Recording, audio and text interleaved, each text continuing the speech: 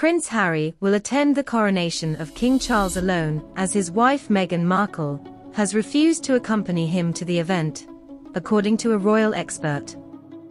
The associate editor of The Telegraph, Camilla Tominey, has stated that Meghan's decision to decline the invitation was not unexpected. However, it will leave Prince Harry excluded from key parts of the ceremony, including the finale on the Buckingham Palace balcony. Tominey has warned that this could result in Harry having to suck up the ignominy of being secluded during the ceremony.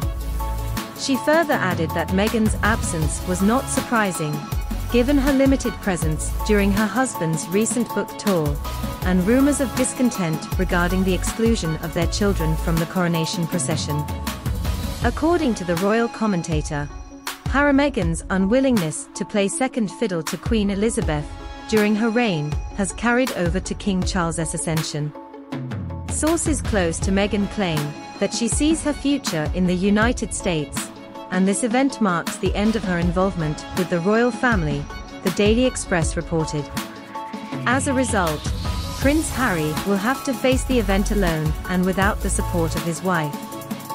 He will be excluded from both the King's procession and coronation procession, as well as the Buckingham Palace balcony appearance. Tominey emphasizes that blood is thicker than water, implying that Harry must fulfill his duty as a member of the royal family, despite his personal circumstances. The news of Meghan's absence from the coronation has sparked widespread speculation and discussion about the future of the Sussexes' relationship with the royal family. Many have expressed concern about the couple's decision to prioritize their personal lives over their royal duties.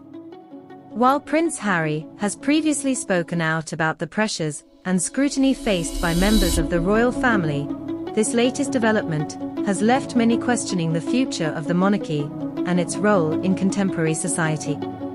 The coronation of King Charles is set to take place on May 6, and all eyes will be on Prince Harry as he represents his family and the royal institution during this historic event.